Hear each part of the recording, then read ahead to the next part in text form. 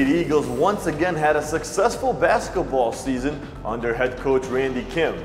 Once again, for a second consecutive year, the Lady Eagles made it to the third round of the playoffs, unfortunately, though, coming short of their team goals.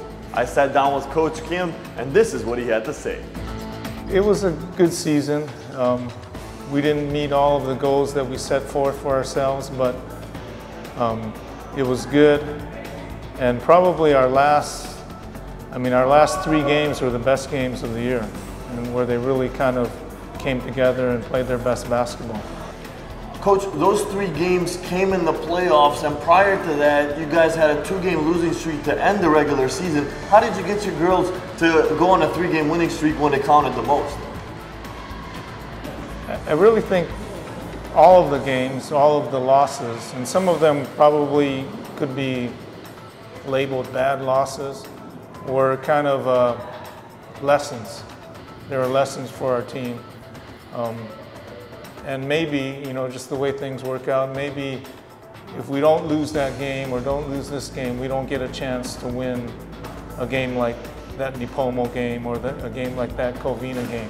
They, they really were lessons. They, they taught us what we needed to do. I wish they had come earlier or I could have gotten it through to them earlier through practice, but sometimes experience is the best teacher.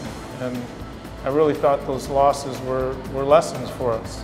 Coach, speaking of experience, your girls are getting good experience here. Two years as the varsity head coach, two playoff appearances, both making it to the third round. Now that third round game against Duarte, you guys only lost by two points against a very, very tough team. What happened in that game? It was a battle. Um, it was a great game. It wasn't necessarily a well-played basketball game, but it was just a great fight. It, it was a it was back and forth. I don't know if you read some about the game, but I think there was something like eight ties and seven lead changes. At every quarter, the score was tied.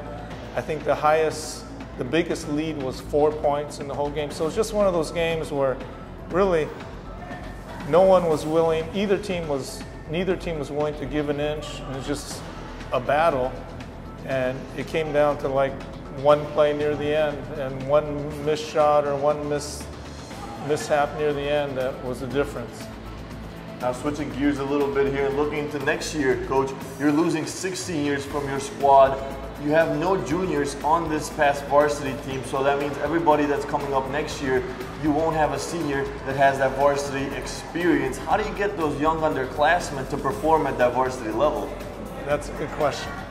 That's a good question. But um, I'm really looking forward to seeing, you know, what this team can become. Um, they were great.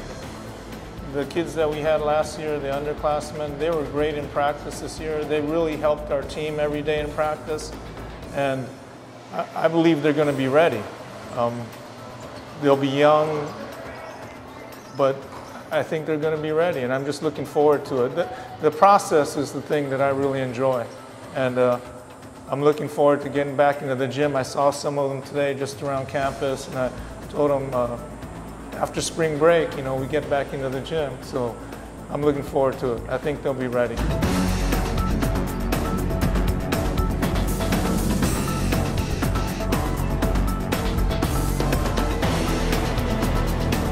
Paige has been a big component to the El Segundo Lady Eagles playoff run the past two consecutive years. I sat down with Paige to recap her final season wearing an Eagles uniform. So season's done. How are your feelings on this past basketball season?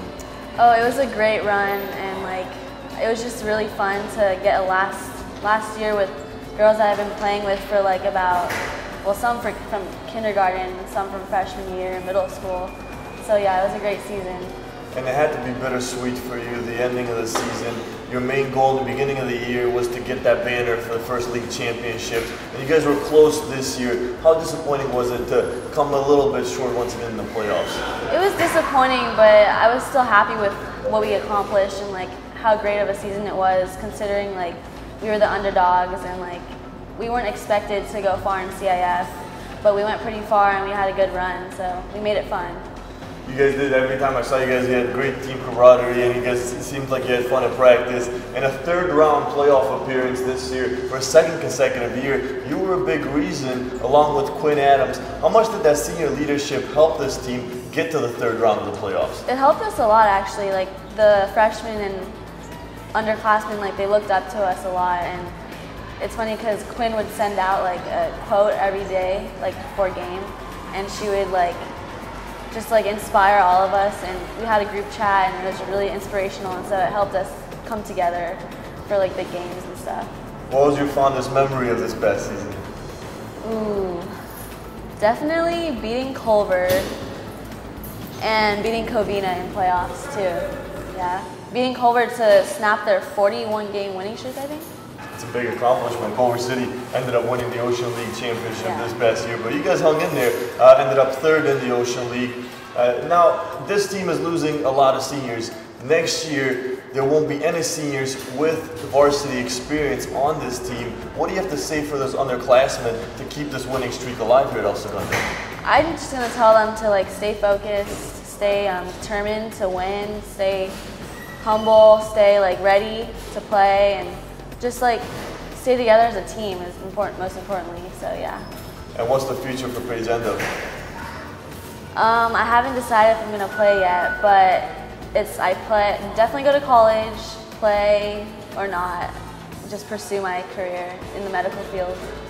Paige, thank you again for joining us. It's been a pleasure watching you the last few years, and good luck with everything you do. Thank you. Sports are unpredictable. Sometimes we achieve more than people thought we could, and sometimes we fall short of our team goals. The off-season is a place meant for teams that didn't win it all to step back, regroup, and try again next year. The El Segundo Lady Eagles will have a huge upcoming off-season after losing six seniors this past year. Coach Randy Kiehm will try to take a group of underclassmen into a third straight playoff appearance. It's going to be an exciting year next year for El Segundo basketball, and I myself can't wait to see it. Until then, I'm Miguel Deliu for El Segundo TV.